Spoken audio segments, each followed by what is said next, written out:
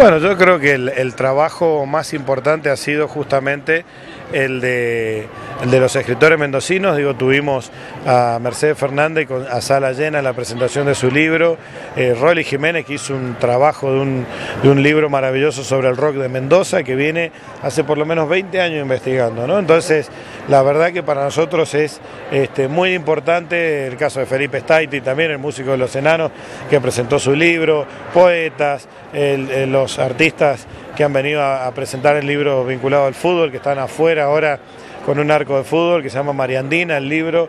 Este, sí que hay muchísimas propuestas que hemos tenido, la verdad que ver acá en ediciones culturales venían a llevarse los libros de Arturo Roy, por ejemplo, que están ahí, Mendoza en sus letras y sus ideas.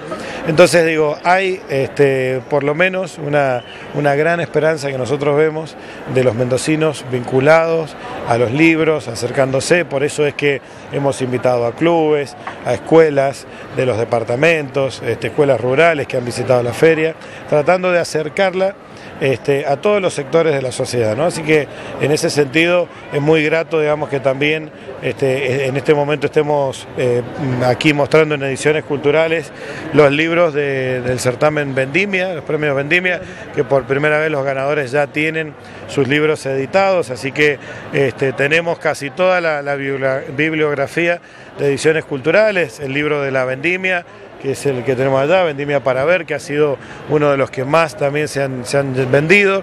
Yo creo que cada uno puede elegir el libro que desea, digamos. Esto es la magia que tiene la lectura, digamos. No hay obligación de, comprar un libro. Eh, en todo caso, la, la obligación es la de leer y cada uno podrá elegir qué es lo que quiere. Hay muchísimas variedades. Así que eso es lo que nosotros queremos seguir profundizando. ¿no?